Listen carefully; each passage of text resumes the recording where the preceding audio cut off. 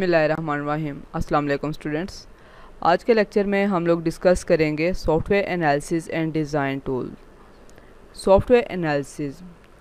After gathering requirements from the customer, आप क्या करते हैं? रिक्वायरमेंट्स का एनालिसिस करते हैं।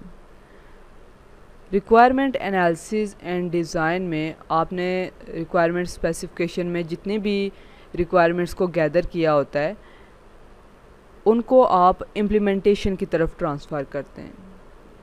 वहाँ पे आपने यूज़र से उसकी तमाम रिक्वायरमेंट्स गैदर की। जितनी भी फंक्शनल नॉन फंक्शनल रिक्वायरमेंट्स बन रही थी, वो आपने रिक्वायरमेंट स्पेसिफिकेशन डॉक्यूमेंट में पुट कर दी। अब रिक्वायरमेंट एनालिसिस में वो जितनी भी एक्टिविटीज़ हैं, उन सब एक्टिविटीज़ को आप ट्रांसफ़र करेंगे टू इम्प्लीमेंटेशन इसके लिए डिफरेंट डिज़ाइनिंग टूल्स यूज़ होते हैं। कौन कौन से डिज़ाइनिंग टूल यूज़ होते हैं? First one is data flow diagram and second is entity relationship तो डाटा फ्लो डायग्राम को डिस्कस करते हैं।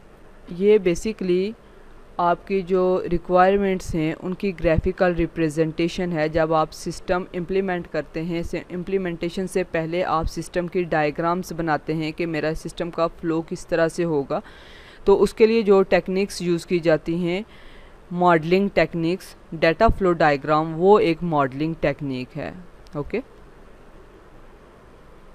ये आपको ये बताती है कि हमारे सिस्टम में डिफरेंट मॉड्यूल्स के दरमियान डाटा कैसे फ़्लो करेगा?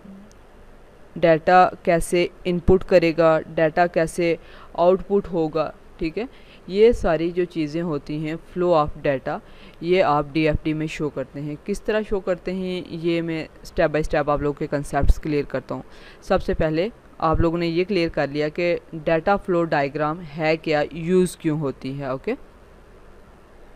what is D F D DFD represents the movement of data within the system okay जो रिक्वायरमेंट्स हमें यूज़र से मिली, उनका मॉडल हम किसमें बनाते हैं?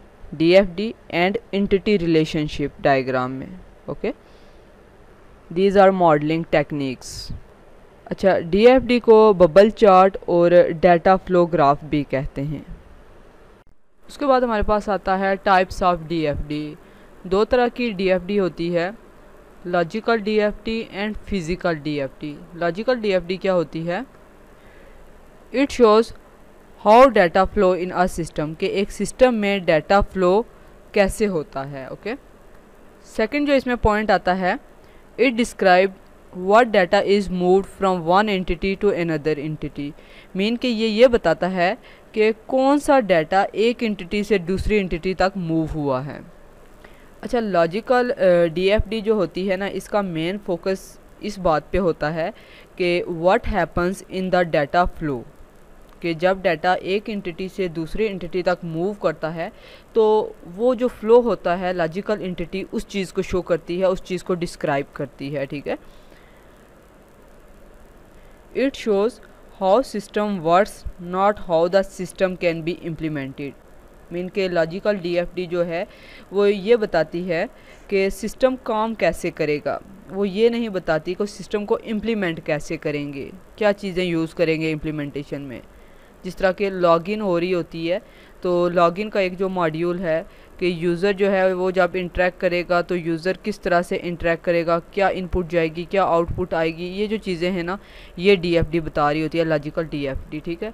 अब बैकएंड पे किस तरह से हो रहा है, क्या चीज़ हो रही है, वो ये चीज़ नहीं बताती। डी लॉजिकल डीएफडी का इससे कोई लिंक नहीं है okay logical DFD is implementation independent okay फिर फ़िज़िकल डीएफडी क्या होती है?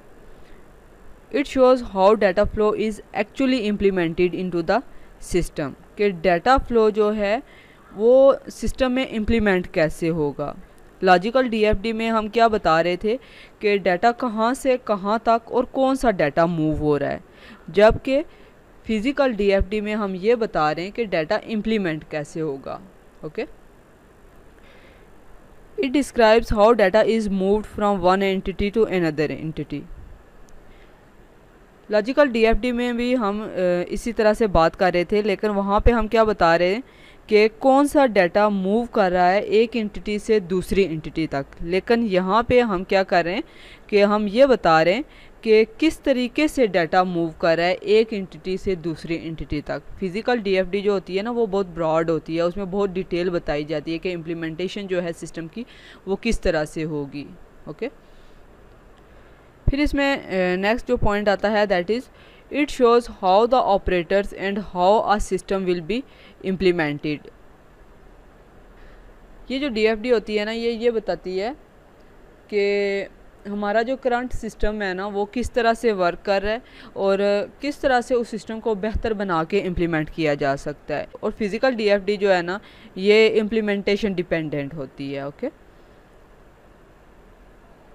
ओके okay, फिर हमारे पास आता है डी एफ़ डी कंपोनेंट्स इसे basic elements of D F D भी कहते हैं।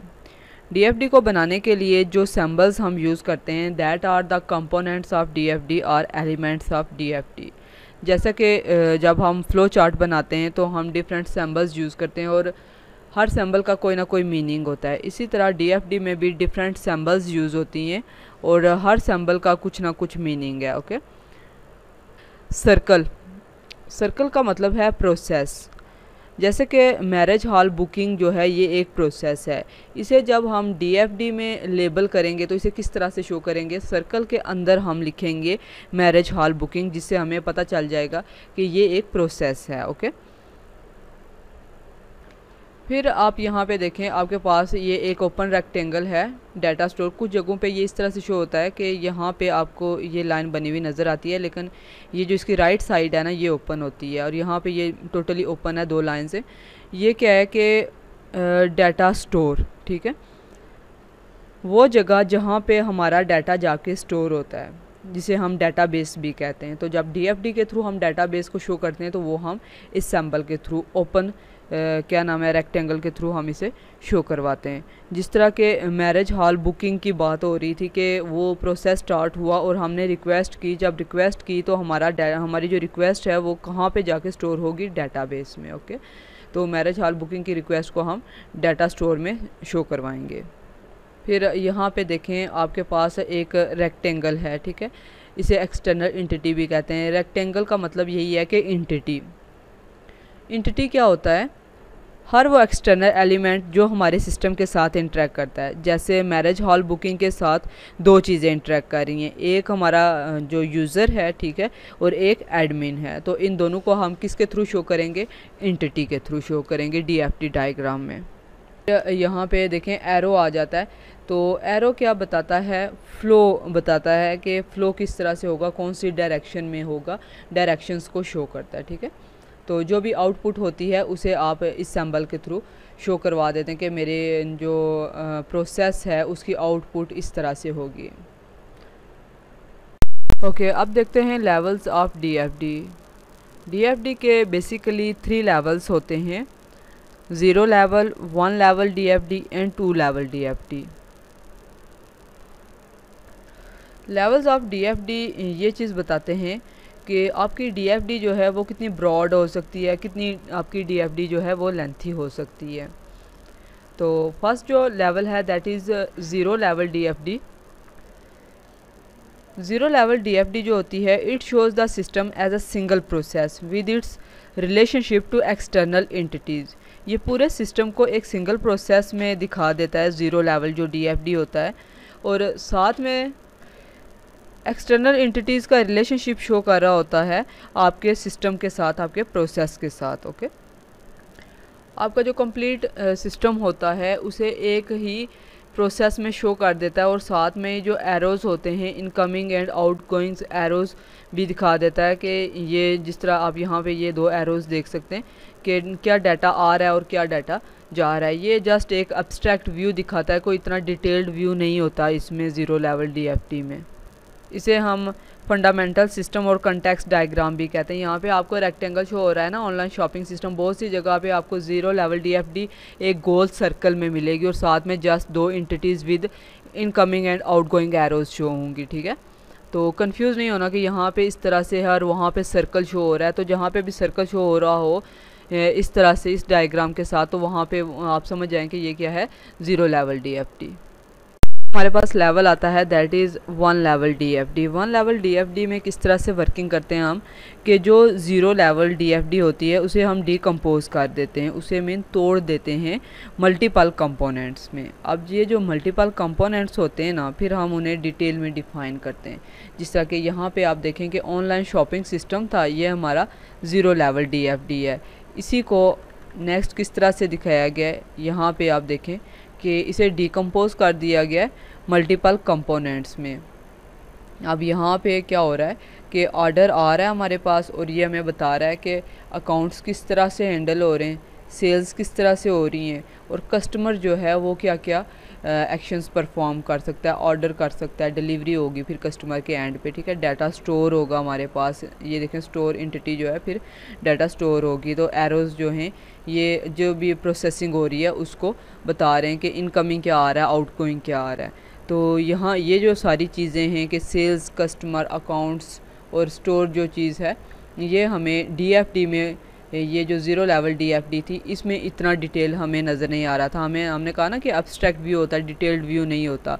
तो वन लेवल डीएफडी जो है, ये इसकी डिकम्पोजिशन होती है ओके जो लेवल आता है हमारे पास that is level two level two में क्या होता है कि जो लेवल वन की डीएफडी है, उसे हम डिकम्पोज कर देते हैं कि अगर हमारे पास कोई एक मॉड्यूल है लेवल वन डीएफडी में, जिस तरह के हमारे पास यहाँ पे सेल्स का मॉड्यूल है तो इसे हम और डिटेल में बताना चाह रहे हैं। तो इसे हम डिकम्पोज कर देंगे। इसमें सेल्स में हमारे पास और भी फीचर्स हैं तो उन्हें हम डिटेल में बताना चाह रहे हैं। तो ये जो लेवल वन डीएफडी है, इसे हम डिकम्पोज कर देंगे, और वो हमारी क्या बन जाएगी? लेवल टू डी ठीक है? जिस तरह के लॉगिन होता है हमारे पास तो लॉगिन में हमने और नेक्स्ट फीचर्स अगर शो करवाने उनकी डिटेल बतानी है। तो उसको हम डिकम्पोज कर देते हैं। ये नहीं है कि डीएफडी आपकी तीन लेवल्स तक ही लिमिटेड है। इसको आप डिकम्पोजिशन कर सकते हैं, जहाँ तक आपने अपने सिस्टम की डिटेल बतानी है, और भी आप इसमें ऐड कर सकते हैं, ठीक है? तो इसी तरह हर एक फ़ीचर जो है, अगर मैं कहूँ कि स्टोर वाला जो फ़ीचर है, इसकी आप डिटेल बताना चाह रहे हैं, इसको आप और क्या नाम है डिकम्पोज करना चाह रहे हैं तो आप क्या कर सकते हैं, इसकी डिकम्पोजिशन करके वो लेवल टू डी में आ जाएगी okay That's the end of your lecture. Stay blessed. Allah Hafiz.